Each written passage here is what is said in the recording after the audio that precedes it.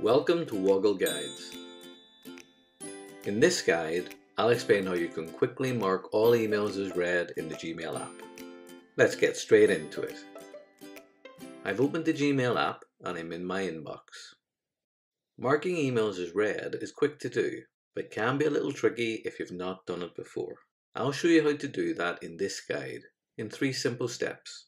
I'll start by selecting the first email I want to mark as read. I can do that by tapping and holding the email for a couple of seconds. You'll see a tick mark appears on the left of that row to indicate it's been selected.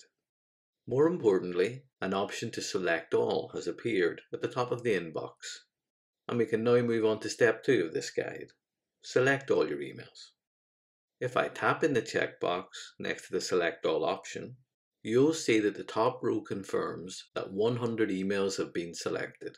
If you want to select more emails, you can do that by quickly scrolling down the list. When you get to the 101st email in your inbox, you'll see that the checkbox at the top of the page is now unchecked.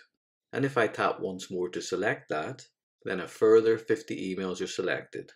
You should continue to select the emails in this way until you're happy all the emails you want to mark as read have been chosen.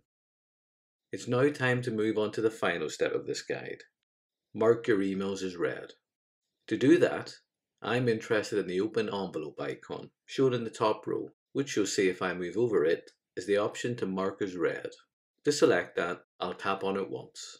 Gmail confirms that the 200 emails I've selected have now been marked as read.